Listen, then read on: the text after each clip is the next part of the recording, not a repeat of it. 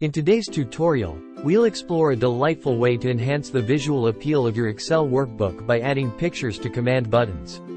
This not only brings a touch of creativity to your spreadsheets but also makes navigation more intuitive.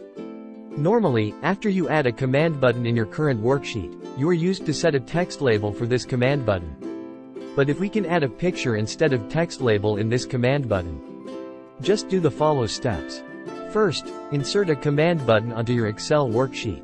This can be done effortlessly from the Developer tab. Go to Developer tab, click Insert Command under Controls group, and select Button icon to insert one command button into the worksheet.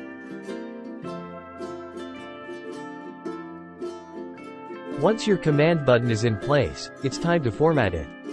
Adjust its size, caption, and any other properties to suit your design preferences.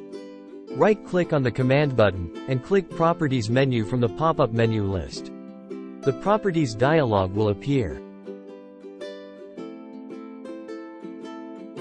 Now, here comes the fun part. We'll show you how to seamlessly integrate a picture with your command button. Move to Picture field and click 3-dot button to open Load Picture dialog. Dot and select the image you want.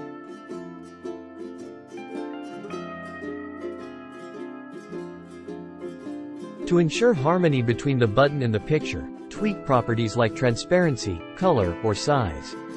This step is crucial for achieving a polished and professional look. Adding a picture to a command button in Excel is a fantastic way to blend functionality with aesthetics.